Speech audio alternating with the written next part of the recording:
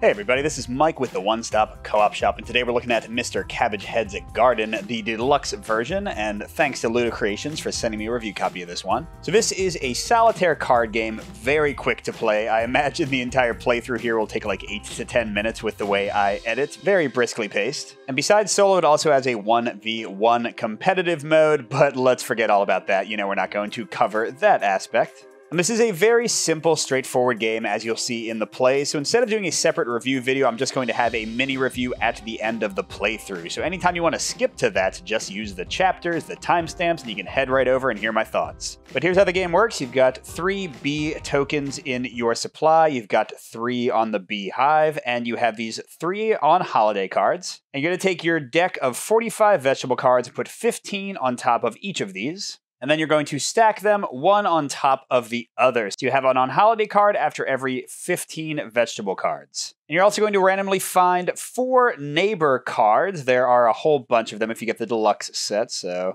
I'll just grab these four. And each one has very, very quirky art, and they're all uh, cabbage or carrot people or radish people or something. My son was very mystified when I got him to play this one with me. And each of them has a rule for how they will rob your garden and just mess around with you whenever you go away on holiday. But we'll get into them in a moment. How the actual core gameplay works is you flip up three cards, and each card has a vegetable type and a picture. You have the number of victory points the card is worth as long as it's orthogonally adjacent to other cards of the same types. You need at least two turnips together to score eight points per turnip card. You also have here the number of this vegetable in the entire deck. So this one is pretty rare, only three total. And you have the vegetable number and the number of neighbor tokens. And what do those last two things mean? Well, the player picks one of the vegetables actually plant in the garden. I'll show you that in a second. Let's say that I picked the turnip. And then I compare the vegetable values of the two remaining cards. In this case, this bean card has a higher value, and I use the neighbor token value of this card. That's how many neighbor tokens I'm going to draw. And to build that supply of neighbor tokens, you take the six tokens for each of the four neighbors you picked, and you just mix them all together and turn them all on the green side face up. So going back to the previous example, if these two cards were left after I planted the one vegetable, and this one has a higher value, I would draw one token. And whichever neighbor or neighbors I draw, the tokens go right on their cards. And when I go on holiday, after going through 15 cards, whichever neighbor has the majority of tokens is the one whose effect will activate, and they'll generally steal a vegetable from your garden, although some have other effects. But if you're lucky enough to have two or more vegetables be tied for the most tokens, like here, Lord Carrot Body and the Right Honorable Palm Pomfret Esquire, they both have two, so here they would squabble with each other, and nobody would come and mess with your garden. Bonus. And then all the tokens go back into the supply for the next on home phase. Oh, one more thing I forgot to say. If you take the vegetable on the right, you get another bee from the hive into your supply. If you take the vegetable on the left, a bee goes from your supply into the hive. That's why I have them placed like I do. And if you take the middle vegetable, neither one moves. And the key mechanical implication of that is that if all the bees are on one side, you cannot pick a card that would require moving more to that side. So I couldn't pick the turnip right now because I have nothing in my supply to go over to the hive, whereas I could pick a bean and open up my options for next time. Now, in terms of actually planting, you have sort of an imaginary set of three rows, and each one can have up to six vegetables, so kind of like six columns, so a three by six grid basically. And you can place vegetables anywhere, but remember, vegetables will not score unless they're adjacent orthogonally to at least one other vegetable of their type. And the three by six grid is not locked in until you make it so. So, like, I could put down this first bean card, and that could end up being the right side of my grid or the left, and you can just kind of place things wherever you like until you've placed enough that you have six columns, for example, and you can't really fit anything else in there. Now, once you've gone through the entire deck and resolve the last on holiday, you're going to score the vegetables that are adjacent, like I said. And additionally, you get bonus points, awards of merit for getting certain configurations, like the four corners having four of the same type of vegetable in your corners, or the avenue having columns of the same vegetable type on the left and the right. Each of these has a victory point bonus. You've got the promenade that has kind of pairs going up, down, up, or down, up, down.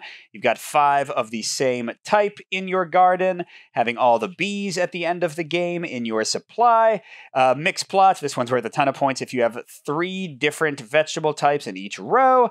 And finally, the bounty is one row with six different types all in that row. And you just score that all up, plus the vegetables that were adjacent. And the beautiful Eudora Brassica will then judge your garden, and you get to see how your score compares. A funny story I taught this game to my eight year old. He played before I actually did. He played the first game with my copy, and he got 130 points, got a blue ribbon. I have never replicated that success. Didn't even know what he was doing, and he just kind of stumbled into it. So good job, Harrison. But let's see how I do and get into a solo play. And then again, I'll finish up with a mini review. So I could tell you what my neighbors do, but honestly, I don't really care until one of them emerges as the clear front runner. So we've got a rutabaga on the left, beans in the middle, radish on the right.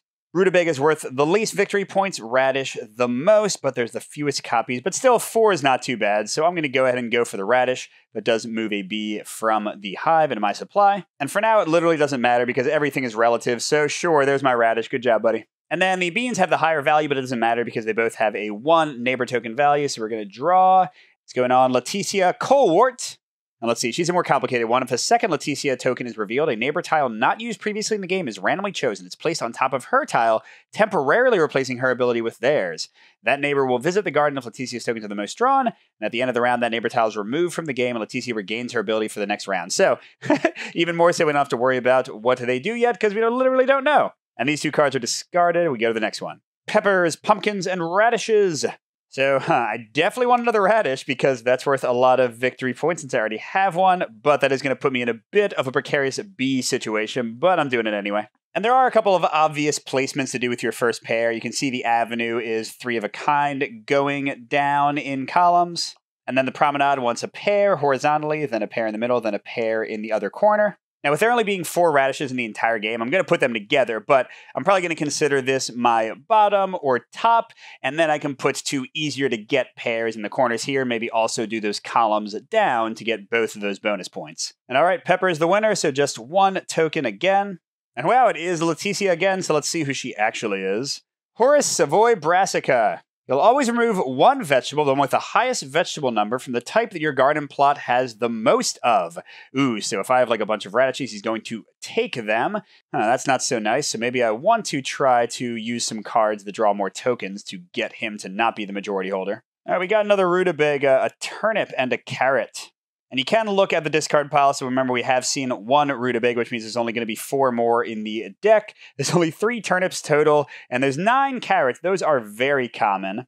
So you know what? I think I will get the carrot. Then the rutabaga will be the highest. I'll draw two tokens, hopefully uh, override that person. Oh, wait, no, no, no. Then I pull off the last bee. Never mind, never mind. And there's only three turnips, ah, but I guess it's okay. I'm to pick the turnip, and that will leave my bees the same. And that way the rutabaga will have the higher value, and I'll draw two tokens in a moment. Now, with only three turnips, the chance of me doing one of those three columns with it is basically nil, so I'm just going to kind of put it in the middle and not worry much about it. And my two tokens, come on, somebody else. Okay, we've got the carrot boy and the radish family, lovely. So we're hoping we'll draw another token of one of them and just have no neighbor visit. We have two more sets before we're on holiday. Lettuce, pumpkin, beans. Nothing I've had before although both beans and pumpkins have shown up once. So I'm kind of leaning toward the lettuce just to even out my bees a bit.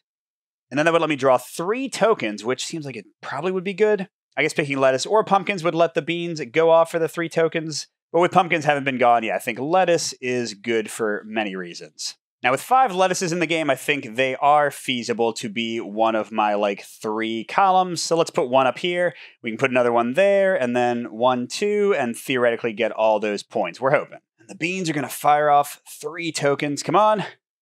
We got another radish, so they're tied. Stay there, stay there. Oh no, her again. Oh, and radishes again. It's a 3 3 tie, which means it's all going to come down to the last cards. Rutabaga, no beans, no pepper. Now, oh, and I've thrown away two rutabagas, two beans, and one pepper. That means there's four other peppers left and only three left of rutabaga. Really not very many beans left. It looks like no matter what, I'm going to draw two tokens. So yeah, let's go for the safer bet with more cards left in the deck, although that is messing up my bees again. And with four more peppers somewhere, can this be my other column? I guess so. Or at least minimum I can get a pair and a pair to do the little like pair, pair, pair thing. All right, in the moment of truth, two more tokens. I hope it's like her or Carrot Boy here. Okay, that's a good start. That's a good start. Come on. No! Oh, that is not great. So remember, he's going to take the highest value vegetable of the type I have the most of. Then he's going away and it'll switch back to being her again. And all of these go back in the supply face down. So she has popped in and fiendishly stolen one of my radishes. I guess the 71 has the higher value. Darn. But that's okay, that's okay. There's still a few more of them in the deck. I can get it back. Carrot, carrot, pumpkin. I have not gone for any of those. But I've also only passed on one carrot, and they are more common. So uh, let's go ahead and get uh, this one, I guess, to get my bees a bit more even. And then we're going to draw one token in a second. And remember, there are a ton of points to be had if I have three different vegetables in each row. So let's put carrot up here and try to keep things even after that. Or maybe like here to set it off from the turnip. And the one token is our radish people. I should probably see what they do since they almost won the Furwig Radishers. They will remove the vegetable card with the highest vegetable number from the next set of three cards that are drawn and revealed. The player plants one of the two remaining vegetables for free and reveals neighbor tokens according to the neighbor number of the other. I guess uh, so. If they're like the last neighbor to do things, it doesn't affect me at all. That's really not that terrible because they don't take one from my garden itself. All right, beans, radishes. Yes, radishes. Okay, I definitely need those. Although I'm sad to give up the pepper, but I need the radish. That's not going to affect my bees at all. Let's go ahead and replant the one that was stolen. And we're at one token because 15 is higher than two. And okay, it's that one tied for now, but maybe not for long. A lettuce, a salsify, and a pumpkin. Well, I have lettuce, so I'm not even going to look. Let's definitely take it. And let's start by getting the pair, pair, pair thing, and then if I have time, I can try to do the down column as well. And 40 is higher than 38, so one token. Ooh, the radishers are winning. I don't mind that. Here we go again. Pepper, need that. Radish, uh, and uh, oh gosh, that's not great. Gonna run out of peppers pretty soon here. So even though the radish is worth more victory points, I definitely need at least one more pepper. And what's it going to do to my tokens? If I take this one, the 31 will win for two. If I take this one, the 76 will win for two. So it's going to be two no matter what. Um, I guess in a pinch, I'd rather have the bees over here because I get bonus victory points if they're all here at the end, rather than have them over here in the hive. So I'll take this pepper. And like I said, I'm going to finish off that formation. So we've got some points earned already there. And we'll do two tokens. Whoa, more radishers, and there she is. Yeah, it seems like the radishes are going to win this. A carrot, I can use that. A pepper, I probably need that, and a salsify. Yeah, I'm going to go for the pepper, not even going to really look because I assume more carrots will come, but this is a little bit better. And I think if I'm very lucky, there might be one more pepper in the deck, and I can get that little column thing I'm going for. And what's happening token-wise? Oh my gosh, I'm letting three tokens come out into the wild. This might mess things up. Well, let's see. Boom! No, I don't think so. Radishers are the clear victor. Oh my gosh, five out of six? How did that happen?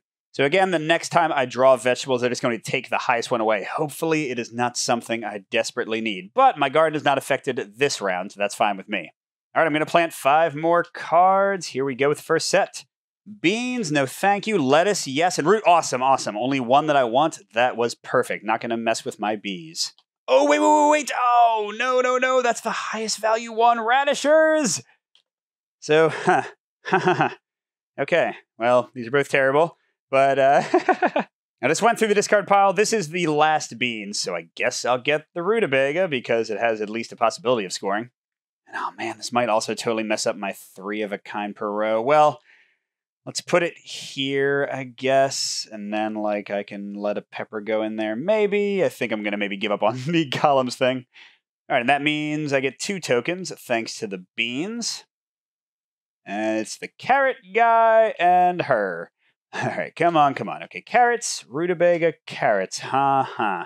So I think this is literally the last rutabaga in the game. Definitely to grab that. And yeah, like I said, I think I might just give up on the possibility of lettuce being in my future and do it like that, I guess. And then both carrots say one token, and it's radishers. Okay, so we are having a three way tie right now. Keep that going. Turnip, salsify, lettuce. Okay. So I do have a turnip, and if I don't get this one, it might never score, and it's worth eight victory points, so gotta do that, even though the lettuce would be good as well. And I might still be able to do the thing with three different vegetables in each row. So let's put the turnip there, I guess. And the lettuce wins with 35, drawing one token. And oh, the carrot guy.